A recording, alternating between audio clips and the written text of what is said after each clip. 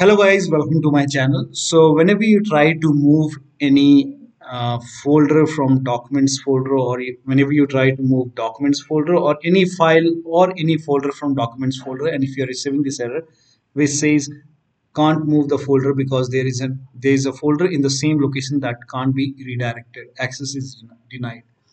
And this is happening with documents folder and uh, if you're using OneDrive. So if you're using OneDrive then you might face this error message so for this open OneDrive on computer and once OneDrive is open on the bottom right over here you might see um, OneDrive icon. So you have to make a right click on OneDrive icon. And then go to settings. Now go to sync and backup. And then click on manage backup and just wait for a few seconds. So we can see documents. It is on right now. So I will turn this off. And then you have to stop the backup. And then close this. And now once this is done you can quit OneDrive.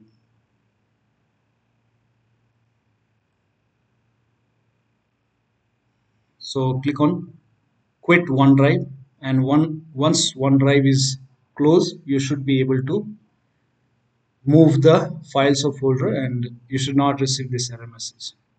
Now still you're facing the problem then in that case you can unlink uh, you can unlink the OneDrive from your computer so you can go to settings and then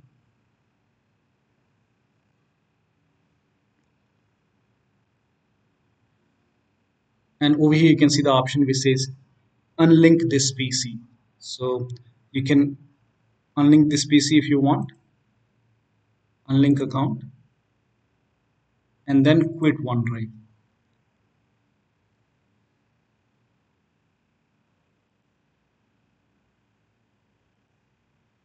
you can quit OneDrive now once you quit OneDrive and then you can try and you should not receive this error message. And that should fix the problem. In future whenever you try to link OneDrive you can always open OneDrive and then you can always link it.